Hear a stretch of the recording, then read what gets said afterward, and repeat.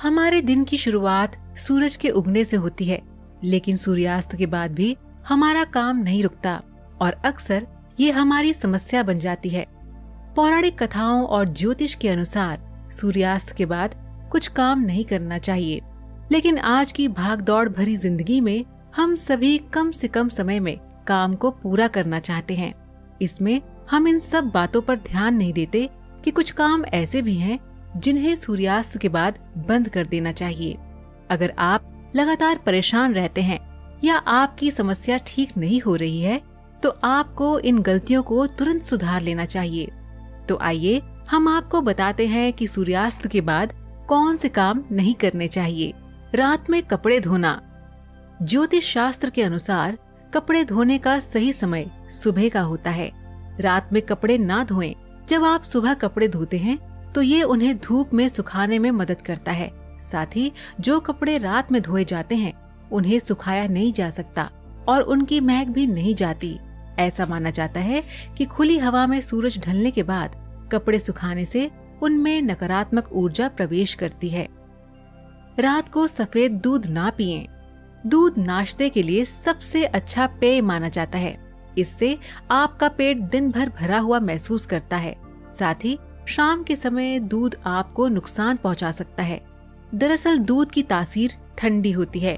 अगर आप शाम के बाद दूध पीना चाहते हैं तो हल्दी या केसर मिलाकर लें। ये आपको स्वस्थ रखेगा। सूर्यास्त के बाद ना लगाएँ चंदन। बहुत से लोगों की आदत होती है कि वे सुबह नहाते नहीं हैं, बल्कि शाम को नहाते हैं। सबसे पहले ये जान लें कि पौराणिक कथाओं के अनुसार और स्वास्थ्य की दृष्टि से सुबह स्नान करना सबसे उपयुक्त माना गया है। फिर भी अगर आप शाम को नहाते हैं तो गलती से भी सिर पर चंदन न लगाएँ, क्योंकि इससे स्वास्थ्य खराब हो सकता है।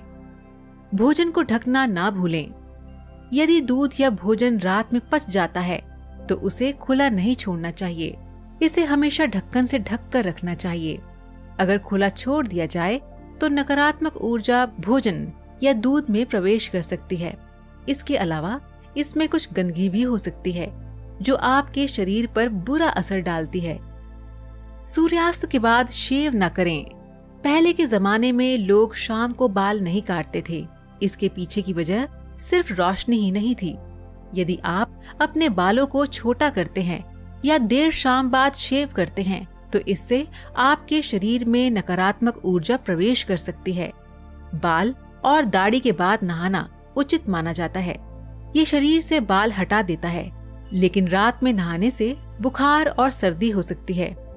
इन कारणों से सूर्यास्त के बाद ये कार्य नहीं करने चाहिए। तो दर्शकों, आज का सवाल आपके लिए ये है कि क्या आप बता सकते हैं कि पृथ्वी से सूर्य लगभग कितनी दूर है? आप इसका जवाब हमें नीचे कमेंट बॉक्स में दीजिए। हमें आपके जवाब का इंतज़ार रहेगा।